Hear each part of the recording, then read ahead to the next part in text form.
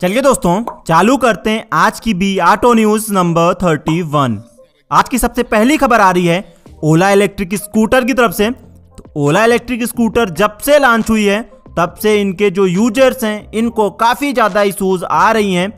पहले तो इसके अंदर आग लगी, फिर इसके अंदर रिवर्स वाली प्रॉब्लम आई, और उसके बाद इसके अंदर माइलेज ड्रॉप की प्रॉब्लम आई, और अब इसके अंदर जो इसका फ्रंट व्हील है, वो ही टूट के अलग हो जा रहा है। मतलब जो फ्रंट वाला सस्पेंशन इन्होंने लगाया है, वो टूट के निकल जा रहा है। ये सीरियसली काफ़ी बड़ी बात है कि इसके अंदर अब जो फ़िज़िकल चीज़ें हैं, वो भी टूट के निकल रही हैं।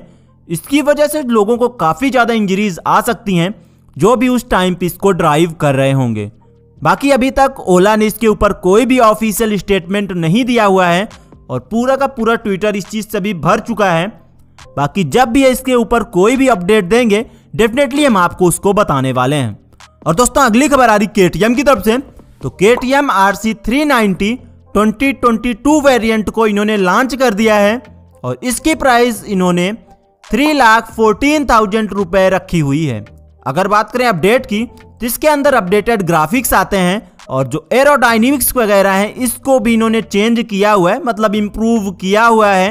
जिसकी वजह से जो इसकी टॉप स्पीड है, इसके अंदर भी आपको थोड़ा सा इंप्रूवमेंट देखने को मिलने वाला है। बाकी अगर आप इसके लुक्स की तरफ़ देखेंगे तो जो इनकी स्ट्रीट फाइटर है, उसकी तरह इन्होंने इसको लुक देने का ट्राई किया हुआ है। और इसके अंदर भी दो ही कलर ऑप्शन आते हैं एडवेंचर की तरह, जो कि फैक्ट्री रेसिंग ब्लू है और के ऑरेंज है। और बात करें अगर इंजन की तो इसके अंदर इन्होंने 373 सीसी का इंजन दिया हुआ है। तो आपको नई वाली K T M R C three ninety कैसी लग रही है, ये आप नीचे कमेंट करके बता सकते हैं। और दोस्तों, अगली खबर आई ट्रिम्फ की तरफ़ से। तो ट्रिम्फ की जो सबसे मोस्ट पॉपुलर बाइक है इंडिया के अंदर टाइगर इसका नेक्स्ट वर्जन मतलब ट्वेल्व हंड्रेड का 2022 वेरिएंट इन्होंने लॉन्च कर दिया है। और इसकी जो प्राइस इन्होंने रखी है, वो 19 लाख 19 थाउज़ेंड रुपए रखी हुई है।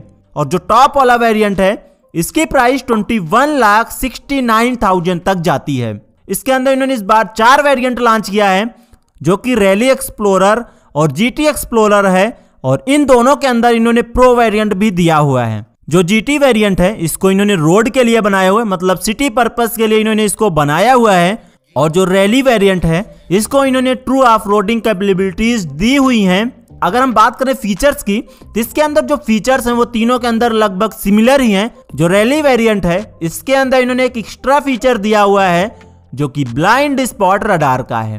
बाकी उसके अलावा जो फीचर्स हैं, वो सारी की सारी बाइक्स में सिमिलर ही हैं। और इसी के साथ ये अपने प्रीवियस वेरिएंट से 25 के जी लाइटर भी है। और कुछ टाइम के लिए ट्रिम्फ ने इसको डिसकंटिन्यू कर दिया था इंडिया में, लेकिन अब इस नए लॉन्च के साथ ये इंडिया में फिर से कंटिन्यू हो गई है।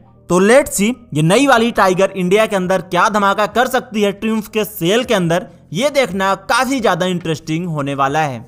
और दोस्तों, अगली खबर आ रही हीरो की तरफ़ से तो हीरो ने स्प्लेंडर प्लस का नया वेरिएंट लॉन्च कर दिया है मतलब 2022 वेरिएंट लॉन्च कर दिया है, और इसकी प्राइस इन्होंने seventy two thousand nine hundred ninety rupees रखी हुई है। अगर बात करें अपडेट्स की तो इसके अंदर इस बार फुल डिजिटल मीटर आता है ब्लूटूथ कनेक्टिविटी के साथ इसी के साथ साथ इसके अंदर एसएमएस और कॉल अलर्ट भी इन्होंने दिया हुआ है। और कुछ और फीचर भी इन्होंने दिए हैं, जैसे two trip meter real time mileage meter और यूएसबी चार्जिंग पोर्ट भी इसके अंदर इन्होंने दिया हुआ है। अगर बात करें इंजन की तो इसके अंदर इन्होंने 97 सीसी का इंजन यूज़ किया है, जो कि 7.9 हार्स पावर जनरेट करके देने वाला है और 8.5 न्यूटन मीटर का पीक टॉर्क भी इंजन जनरेट करके देने वाला है। तो आपको नई वाली स्प्लेंडर प्लस कैसी लग रही है, ये आप नीचे कमेंट करके बता सकते हैं। और दोस्तों, अगली खबर आ रही है महिंद्रा की तरफ़ से।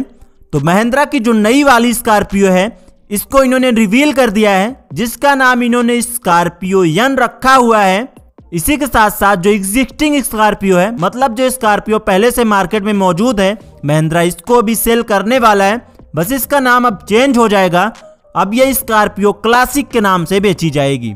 और जो नई वाली स्कॉर्पियो यन है, इसको महिंद्रा इंडिया के अंदर 27 जून को लॉन्च करने वाला है, जिसके बाद इसके बारे में सारी चीज़ें पता चल जाएँगी।